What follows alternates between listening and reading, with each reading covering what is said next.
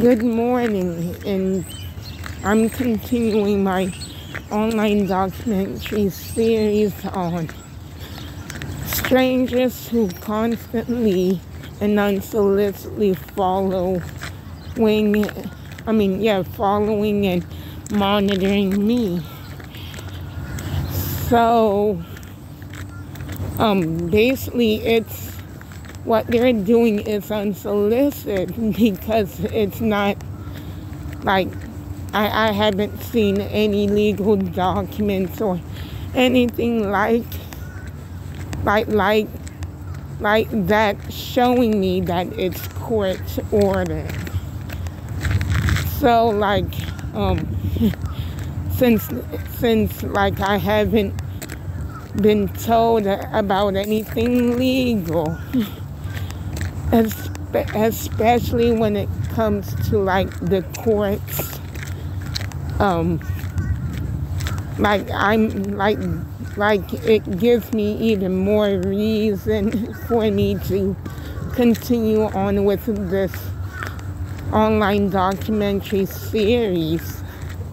Because like really if you're going to treat me in such a way where you're like where, where you're like, oh, you know what, you shouldn't have done this and that and the other.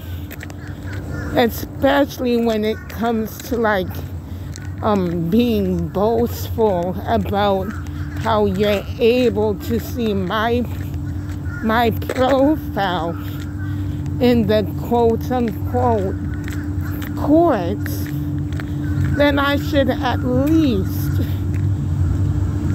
like being given like legal documents to solidify your words.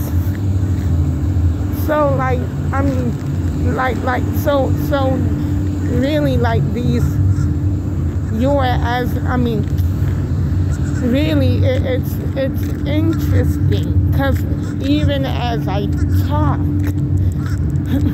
my phone is still being unsolicitedly monitored.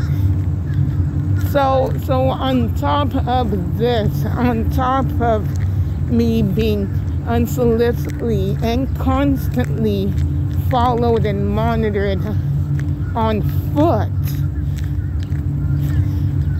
I'm my phone is constantly and unsolicitedly monitored.